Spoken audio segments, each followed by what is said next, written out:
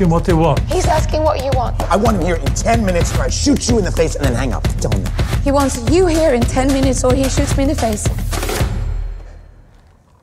Was he surprised? I mean, did he sound surprised? An American with a machine gun has taken over Kreditbanken. Kreditbanken? Has he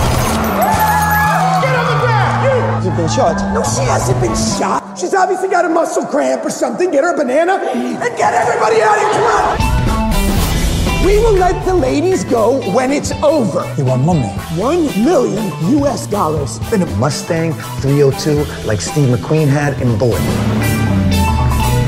Oh, I like that movie. You disable the cameras? You think I should have? Have you done this before? Do I look like an idiot? The girls, have, have they been harmed? Yes. Why would they say that? Cops lie to get what they want. Turn that off. God damn. All of Sweden would like to know what is it like being stuck in there with those criminals? It's not too bad. He let me go. He didn't have to. You and the others will survive, and I can go home. You're unbelievably brave, you know. But you trust them? More than we trust our police.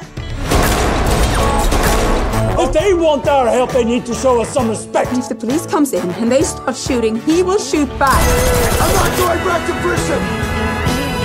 Okay, I gotta kill someone. What? He's like a child.